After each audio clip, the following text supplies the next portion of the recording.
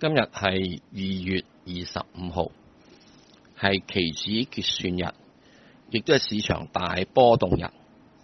咁好多朋友咧都好关心自己只股票，究竟应该系要沽出啦、持有啊，亦或要系趁低买入。咁今日就试图用呢个保利加通道嚟到帮大家作出一个咁样嘅系诶技术上嘅买卖参考指标。